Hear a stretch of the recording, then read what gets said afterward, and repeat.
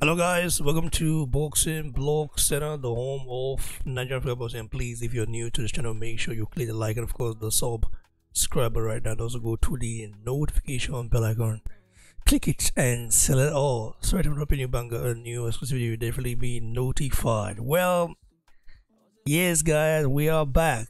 I know it's been a while, but uh, you know we definitely have to give you guys the new uh gist in town and you know that I've missed talking about you know boxing. Yeah, there's been a lot of news I could have talked about, but uh, don't really have the time like that. But we we will get back. We're back. But don't worry, guys. Stay tuned uh for more BBC contents.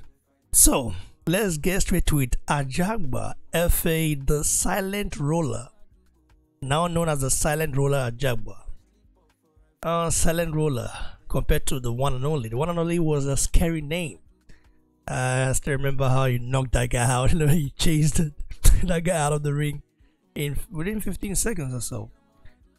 And the guy, the guy got scared of the one and only. Anyways, the silent ruler. There has to be a reason behind that new name. I think he just want to start afresh. And looking at his haircut right now, you can't even tell if he's a jaguar or not. It looks like a different person.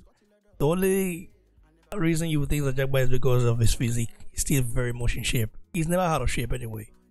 So he's going against Zhan Kossobutskiy, August 26th.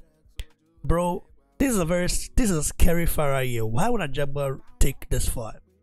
It's a scary fight. Zhan Kossobutskiy is undefeated in 90 profiles. We know Zhan Kossobutskiy is from Kazakhstan. He he did beat our one of our brothers, the Godzilla, uh, Onoriode Ehwarieme, uh, like he did beat him. That was in 2021. He stopped him in the fourth round. Ehwarieme, prior to that fight, had a big win, a huge win in Nigeria, and was in high spirits. Uh, he didn't uh, didn't uh, get the win. Zhan Kossobutskiy, since beating Onoriode Ehwarieme, has beaten Joey Dawejko. He knocked Joey Dawejko out in the second round. Do you? Do you think Joey Dawejko might be like let's say a Johnny Man? However, if you look at uh how he gave um the hardship he gave to um Charles Martin, like you can literally tell that the guy is a tough guy, he's a tough cookie, you know. Um but Zhan Kossobutskiy knocked him out. It was a brutal stoppage. He knocked out Alexis Garcia in the fifth round, stopped Johann Duhaupas in the fifth round, knocked out Hussein Mohammed in the third round. This guy has KO written. Listen, he's knocked every opponent out but one. We know Zangos you know, Kazakhstan people are very strong. You know, I think Golovkin is also from there. He's gonna give a Vajaba hell. In fact, this is a 50 50 right here. But I believe the one and only can't no the silent roller now. Well, I still remember one of the the silent roller can get his job done. Uh, Tajagwe, what do you make of this fight right here? Zhan Kossobutskiy Ajagba. Risky fight for Ajagba, bro. And I have to say, I'm proud of Ajagba for taking this fight because a lot of people would take it. What do you, what make of this fight, bro? You know, I was surprised when uh, FA, when I heard the rumors or or it, when I first heard the rumors, I was like, uh, that doesn't sound true, because I heard uh, Jared Anderson was actually going to fight this guy, but then um, when Efe Ajagba announced it, I was I was extremely surprised, because now I'm like, oh man, this is going to be a good this is going to be a good matchup for um, Efe Ajagba. Efe Ajagba, his last fight, I personally think he's he looked good. You know, even though it was against a nobody, I, I personally think he looked good when it comes to his skill set, throwing better combinations, and you know, trying to set up traps. He's actually been working on that. You could tell in his last fight. But what I what he needs to continue doing is he's got to he got to keep that guard up. For some reason, he picked up some new skills and basically forgot his guard. You know, and that that that could be a problem for him if he if he doesn't work on that.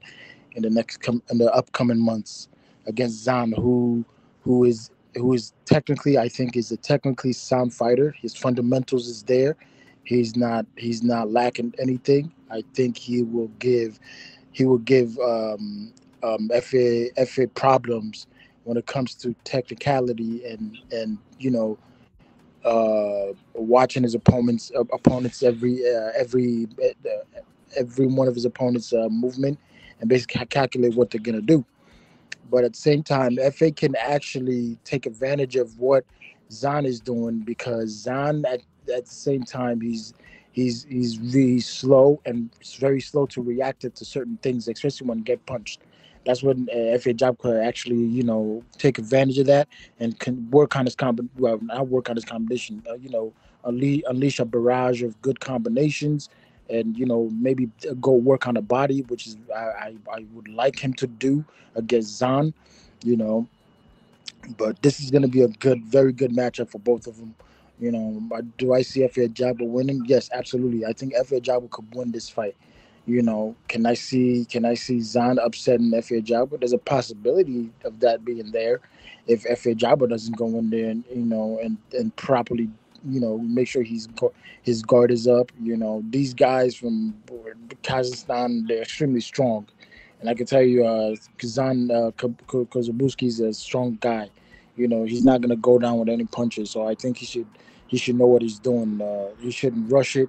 He should, you know, work on his combinations up until the sixth round, and when he starts unleashing some big, heavy, heavy right hands, you know. But make sure his guard is tight, because in his last fight, his guard he, he forgot he forgot his guard for some reason, you know. And, and you know he's gonna pay for it. Eventually, you don't want to you don't want to have your chin be exposed, and you know you get hurt later. You get hurt in the round while you're you know while you're doing good this is going to be a good fight. I'm excited for it. One thing about and, um, yeah, sorry, bro. Sorry to interrupt. Can you continue? No worries, no worries. Go ahead. Continue. I think one thing about Zankos was that I haven't seen him. Like, he hasn't been tested before. The chin. I mean, the chin has not been tested before, but you can tell he can take a punch. But he's not a scared guy or anything like that. He's a guy that is is very fundamentally um, good. Um, he's got good boxing fundamentals. You know, his style is very tricky as well, and Ajagba might have to box very smart in this fight, you know, because I don't think he should. I I, I know he can go to to anybody, but I don't think he should. Zankos can take a punch, and he hits very hard, very hard. This guy's a, this guy has a, a, a, an iron hand, you know. No, I, I agree with you. I totally agree with you. You know, but um, I what what what makes Efe Ajagba different? Because don't forget he he's fought Frank Sanchez. You know, I think Frank Sanchez is uh is as better than Zan, and you know this would be like a little workout, not a little workout, basically like you know, an upgrade, or, or or how would I say like, you know, basically he'll be fighting similarity of Frank Sanchez, but you know, just somebody who's a bit slower, you know, because these guys are both southpaw, you know, Frank and um, Zan. So I think if, hopefully Efe Ajagba has not, you know, forgotten what that feels like to fight somebody like uh, a southpaw, you know. But I, I, I honestly believe, you know, um, I honestly believe Frank Sanchez is better and the way the way Efe Ajagba worked against Frank Sanchez was not bad, but I think he's actually, like I said, he's actually improved to where I believe, as long as he keeps that guard tight and you know those combinations, you know, and and and, and does what his coach tell him, I think Efe Ajagba should come out with a good win or even a knockout, man. But I'm I'm excited for this fight. This is gonna be a very very good fight. Yeah, bro. Um, it's gonna be a very good fight. Let's go about on here at Adewale to give his take. Adewale, what do you make of this fight right here? Zan Kozlowski and of course Efe Ajagba Ajagba going against a dangerous guy right here. A 50-50 fight. What does brother need to do to win this fight? And how does he approach this fight? Because Zan Kozlowski, Zan Kozlowski, being from Kazakhstan, those guys are tough like a mofos, bro. Those guys well, I think they are Mongols. You know, Mongols are not to joke with. It. What do you make of this fight right here, bro? Wait, but bro, are we saying people from Kazakhstan are tough because of Gennady Golovkin, Triple G? No, no, not that. But their history, uh, you know, says that. Like their history, if you read their, if you read their history, you will understand that those guys are descendants of Mongols, bro. A lot of them are descendants of Mongols. Those guys are tough motherfuckers. I tell you right now. But Bro, do they have skills? skills, Zan Kozlowski has skills, but you cannot compare like to the Vasily Lomachenko or the Usyk guy type. But they are very strong. Hmm. They can take a punch. They hit very hard. Zhan Kossobutskiy has, I don't know if you've watched him, but he has great boxing fundamentals. Okay, he might not have the slick head movement that you need, you know, like you want to see in a fighter, but he does have great boxing uh, fundamentals, and he's a dangerous guy. This guy stopped Joey Dawejko in the second round. Joey Dawejko, I don't, I don't know, man, who who stopped him in second round. Like, I don't know who stopped. That, we're talking about the guy that gave Joshua. I mean, that that were rumored to have knocked Joshua out in the, in the sparring prior to the original fight, first fight. Bro, this is crazy right here. What do you make of this fight right? Honestly, bro, can you hear me? Yeah, I can hear you. Can you hear me, bro? Yeah, I can hear you. Yeah. So, in my opinion, I just feel like uh, um, I, I don't really rate Kozlowski, and I'm not trying to be disrespectful, but I've never watched him fight. I have heard of his name one time. I think he's affiliated to Top Rank. He might be signed to Top Rank. That's why I heard his name. I have, wa- I have watched his fight. That's what I'm telling you right now. I've watched his fights. Through his rec- This is what I'm telling you right now. I, if I haven't watched his fight, I will tell you who is this guy. He is not popular, but you will know his name come that day. I'm telling you. Okay, I'm let telling let you right now. you, What round? What round did he stop? Do pass? Johann Duhaupas. In the fifth round, Fifth round Duhal they pass. stopped him in his corner. Yeah. Because the only the only notable names on this record is Duhaupas, in my opinion. Not even Duwe- Juweko- Joey Dawejko. Whom, by the way, is like Bro, five foot ten, so you overweight of, you, guy. you don't know of Kamil Sokolowski? I, I don't know. Kamil, He might be bro. he might be know. a Johnny he might be a Johnny Man, Samuel Sokolowski, but the guy is tough as hell. bro. Kamil has seventeen losses, bro. Nine wins, we, seventeen losses. We know, but how many people have knocked him out? Four people out of twenty eight losses. Four. Nah, my brother, I can't give I can't give Kobolowski Kosobowski any credit for defeating Sokolowski. What's wrong with all these Sokolowski names, bro? because they are Slavic, you know. So what do you mean by that? Man, no worries. What what is wrong? What is wrong with your names? What is wrong with your names, bro? Bro, What, do you- what do you me what do you you. mean? They are Slavic people, bro. What do you mean? Okay, no disrespect to my Slavic people. I know these people are extremely tough. Um, we've seen them time after time, especially those ones that come from um this part of Russia, Chechnya. Is that Slavic also? No, Chechen are not Slavic. They are not. It's not okay. But I, I Uh, mean. Chechnyan people are tough. I Uh, give th- them those that. are Chechnya Dagestani. You know, those are not Slavic. Be- those are Be- not Slavic. Beterbiev. Yeah, Artur Beterbiev. That that is a real not- those are not- powerful, those are not strong animal. Those are those are those are Turkic. Turkey. but they're not Slavic. Yeah, they are Turkey by origin, but not Slavic. But I'll tell you what, man, this Slavic guy, bro, this Slavic guy, Zhan Kossobutskiy, is going to get his face punched in by Ife Ajagba. I don't care what anybody says. This man is 34 years old. He's six foot three. He might be. He's lucky he's been fighting those that level of competition that he's been fighting. That's why he hasn't really been tested. Listen, bro. Ife Ajagba has fought a real world class if fighter uh, in listen, Frank Sanchez. having having watched Zhan Kossobutskiy, if Ajagba does not prepare properly uh, for this fight, Ajagba will, will, will have the biggest shock in, of his life. He must prepare for this fight as a like a war title, a war title fight. I'm telling you right now. But you see that though. I You see. mean, no, I mean, I- I- the best advice that any fighter can take is you need to be prepared to the maximum level for each fight that you're going into. Especially because if someone punches you on the wrong side of your head, You might never fully recover. So you need to learn how to protect yourself while you're in that ring and take it very seriously. And I expect Efe Ajagba to be at that level of professionality that he'll be fully prepared against Kossobutskiy. So, me personally, just because I am a little bit ignorant on Kossobutskiy's record, I would just say that I can't rate him too high. And I know that sounds a little bit weird, but the truth is, most great fighters are usually popular.